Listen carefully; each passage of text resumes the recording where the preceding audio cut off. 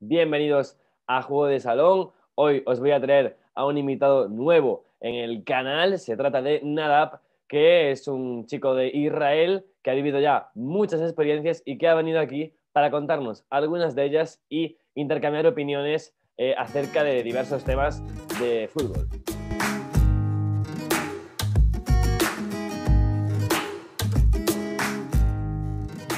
Bueno, pues hoy estoy aquí con un invitado nuevo en el canal que nos va a comentar algunas anécdotas que han sucedido a lo largo de estos años que lleva viajando a estadios y nada, eh, os paso con él. Hola, quiero contar eh, sobre el, el, final del Copa del Mundo, eh, Croacia ante Francia, 4-2 fue la, el resultado. Eh, y eso fue como, como un sueño, eh, estar en eh, ese histórico. ¿Cómo lo viviste? ¿Cuál, ¿Cuál, fue tu sensación al, al, ver ese partido de semejante calibre? Tú, tú no puedes creer que estás ahí. es como un sueño que vas a despertarte en unos momentos, pero fue la verdad, fue la realidad.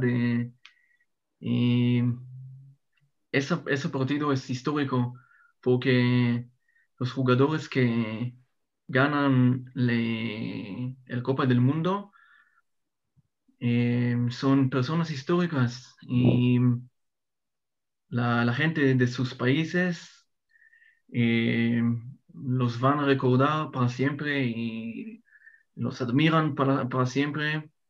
Y Francia ganó su segundo Copa del Mundo, 20 eh, años after eh, Zidane y, y, Thierry Henry eh, y ese equipo en 98.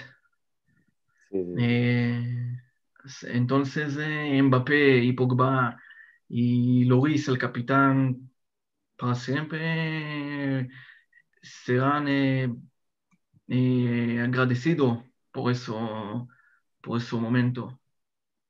Y es muy, eh, ese partido tiene, tiene mucha ilusión eh, para los fans, eh, los jugadores.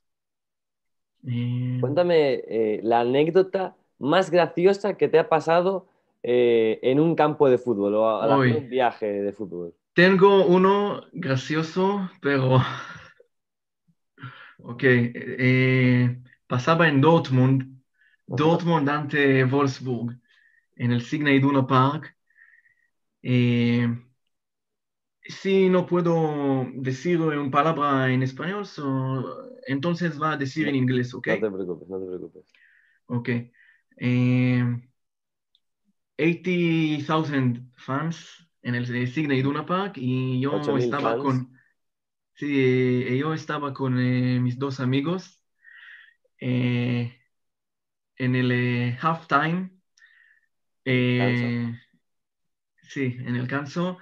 Yo y mis amigos necesitaban ver, ir a la toilets. Al baño, y el baño, sí. Y muchos aficionados, no, no, tengo, no, no hay tiempo para todos.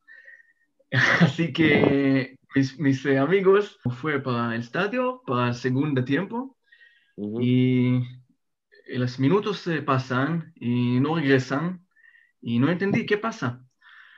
Eh, así que uno, uno, sí, uno de ellos amigos eh, fue para mí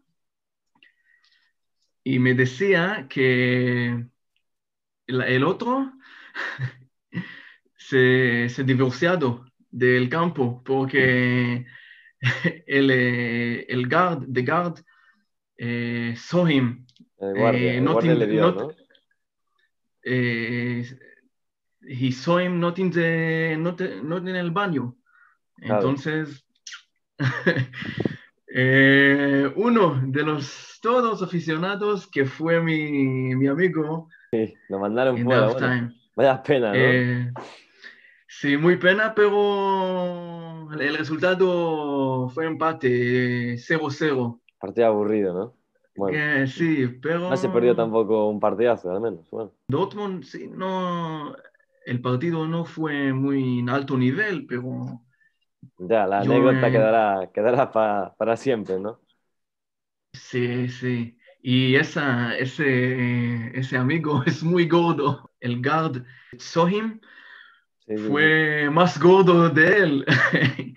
y me decía, necesitaba escaparlo, pero eh, muy, eh, fue muy gracioso. Yo, sí, es que... Eso me hizo reír toda la noche después. Bueno, y antes le hablábamos fuera de cámaras, de, antes de, de grabar el vídeo, eh, ¿cuáles son las ligas que más sigues o, que más te gustan? Eh, mi liga favorito es la liga y el Serie A. Y, hay una razón, hay, una razón por eso que no me refiero al Premier League. En, el Premier League creo que el dinero eh, es el más importante cosa, porque compran los más eh, caros eh, jugadores y, y, no se crecen sus eh, jugadores en Inglaterra. En España y en Italia se crecen em, los jóvenes y los jóvenes tienen una oportunidad para, para, jugar y para expresarlos. Y además, en España e Italia, los aficionados son muy eh, creatives, eh, creatives y, y, hacen todo para, para el equipo en el todo 90 minutos. Sí, depende, ¿no? Tiene sus pros y sus contras, hay algunas aficiones mejores, otras peores, pero lo cierto es que estoy de acuerdo en eso de la Premier, que al final eh, tú ves cualquier equipo de la liga inglesa y prácticamente todos los equipos tienen un presupuesto eh, muy alto y el resto de ligas, eh, por mucho dinero que tengan, no todos los equipos tienen el, mismo dinero que, que ellas. digo que no es imposible que un equipo como Sheffield United o Sí, sí, o, West, West, Bromwich tienen lo mismo dinero y lo mismo eh, dinero como el Atlético Madrid o Valencia. Sí, es que no, no es... Y Valencia... United el año pasado está a punto de meterse en Europa League. Eh, sí, pero hoy ellos son en, en The Last Place. Sí, están ahora mismo fatal, están de últimos. O sea, es que la de Premier, bueno, tiene ese factor, ¿no? Al final hay, hay muchísimo más dinero, bueno. Y hay algo más, eh, Cristiano y Messi. Eh, En los eh, nueve años se refirieron jugar en España y no en el Inglaterra. Ronaldo se fue de, se marchó de Manchester United para Madrid, pero porque el Real Madrid eh, histórico es el, mejor eh, equipo. esa es la verdad. Y creo que Messi em, eh, me hizo Barcelona even a better team sí, sí, Creo que lo de Messi creo que ha sido recíproco. Digamos que ambos han ayudado tanto Messi al Barça como el Barça a Messi, porque al final creo que Messi eh, acaba en un contexto idóneo para su juego, ¿no? Sí, Messi es toda para Barcelona. No, no se puede eh, perderlo, porque sin Messi no hay futuro en Barcelona, no creo. Eh, con todo el respeto para Fati y Pedri, algo como Messi, no sé si si, si, si veremos, en el futuro algo como él. Ahora se está hablando, de hecho, mucho de la, de la asociación esa que tiene Messi y Pedri, que la verdad es que vaya dos, ¿eh? eh Pedri y Messi, eh, quizá será el mismo como Messi y Iniesta. Eh, los double passes que hicieron en el buenos tiempos de Iniesta. Claro. Aquel Barça. No sé si Pedri va a ser como Iniesta, pero porque Iniesta en su posición fue el mago. Era espectacular. El Xavi, eh, Messi, ese Barça eh, era invencible prácticamente, ¿no? Eh, bueno, Eh, ese creo que es, ah, que es eh, el equipo más grande de- del mundo. El fútbol que jugaban, wow. estoy de acuerdo. En cuanto a nivel de juego, en cuanto a, mm, eh, no sé, no sé, a mí me generaba algo eh, que no he vuelto a ver ni creo que veré jamás. Ese fútbol de asociación, Sí. de darla, jugar a un toque, dos, moverla de un lado a otro, marcar, arrasar a los rivales. Eh, creo que es algo que jamás volveré a ver.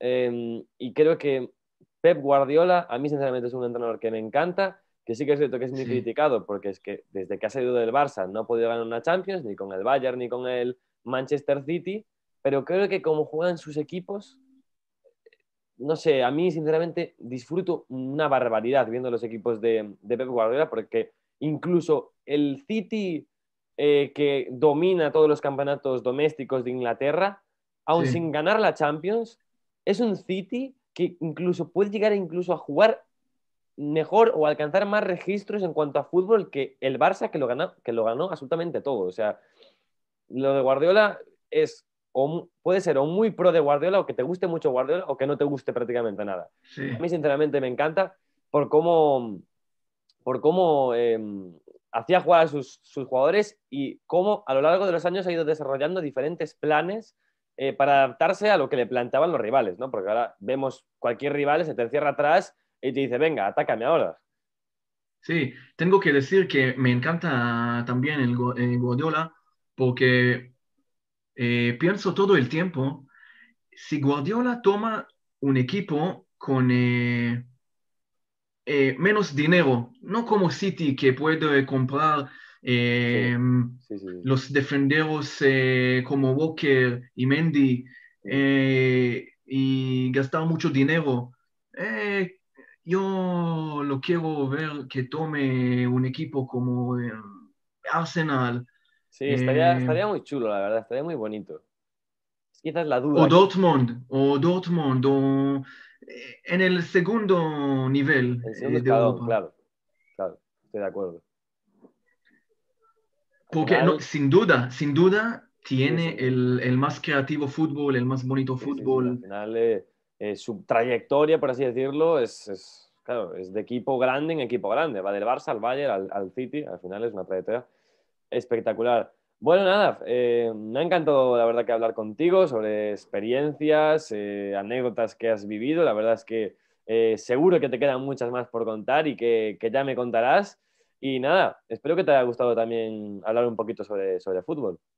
Sí, claro, te- me encantaría hablar contigo sobre fútbol y tengo muchos, eh, muchas experiencias eh, de Turquía y España, Italia, Milan Inter, muchos, eh, muchos eh, partidos que hoy no puedo volar y ver, pero en el pasado sí, hay, hay muchos. Pues me encantaría, la verdad. Bueno, espero que os haya gustado el vídeo. Eh, si queréis más, ponedme en los comentarios qué os ha parecido. Y nada, nos vemos en el siguiente.